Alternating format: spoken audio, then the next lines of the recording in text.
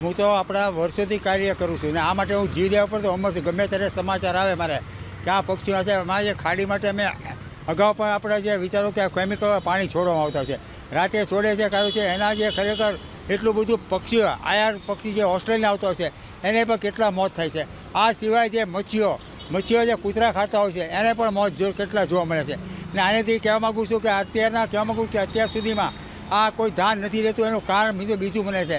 કે ખરેખર અધિકારી અને જે જે અધિકારી માંડીને જે વેપાર જે ઉદ્યોગપતિ છે એ કેમ ધ્યાન નથી દેતા? એમાં મને મિલી ભગત સો સો ટકા બે છે ચિત્રા જીઆરડીસી અને ત્યાંથી નજીકમાંથી પસાર થતી ખાડીમાં સમયાંતરે મોનિટરિંગ કરવામાં આવે છે.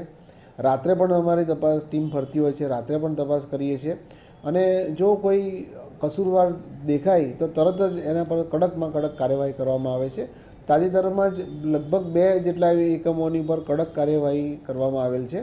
અને આમ છતાં અમારું જે સતત એનું મોનિટરિંગ ચાલુ જ છે અને આ જે હમણાં જ તાજેતરનો કિસ્સો પ્રકાશમાં આવ્યો છે, એના સંદર્ભમાં હજુ વધુ કડક કાર્યવાહી કરી અને વધુ મોનિટરિંગ સઘન બનાવવામાં આવશે.